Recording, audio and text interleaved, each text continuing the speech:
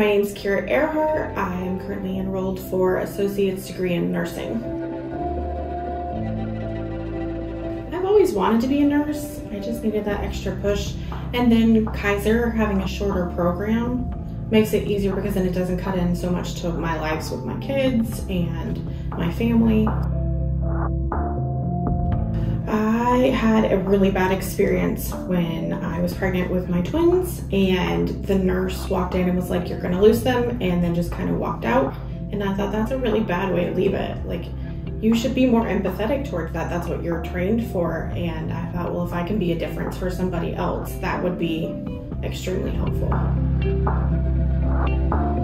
Our teachers care. We're not just students, we are like part of their family. They grow with us they have been phenomenal.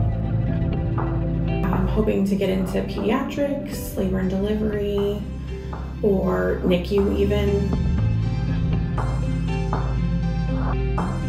I can remember being that mom that's like paranoid because my kid's hurt and I don't know what to do, and like all your common sense goes out the window. So if I can help calm that parent down and keep the child where they're not freaking out, it'll help make the whole process a lot smoother, make hospitals a lot less scary.